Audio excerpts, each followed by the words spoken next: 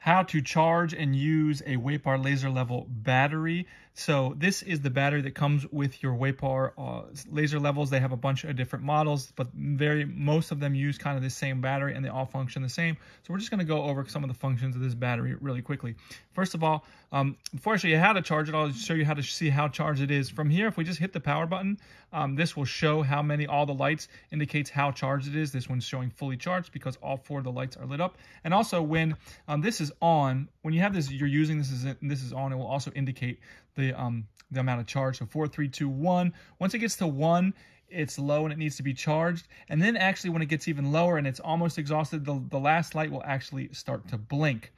And then you're going to want to go ahead and charge it up. Now, I want to show you here that you have actually these two ports on here. So before I show you this one, I'm going to show you this one because this is actually, this side is actually the charge port.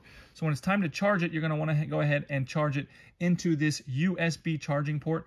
When you plug this in here, then the lights here will start to blink and you'll see it blink, blink, blink, blink, blink all the way up until it's fully charged. Like one will blink and then one will be solid, second one blinking all the way up, all the way up until four solid. That means it is now fully charged. Now this, you got to make sure you don't plug it in here because this is actually not a charging port. This is pretty cool. This is actually a, a power output port. So if you need to charge up a phone or you know something anything else that charges on a USB-C you can actually get outbound power coming through here so if you're interested in this device I'll go ahead and put a link down below um, thanks a lot for watching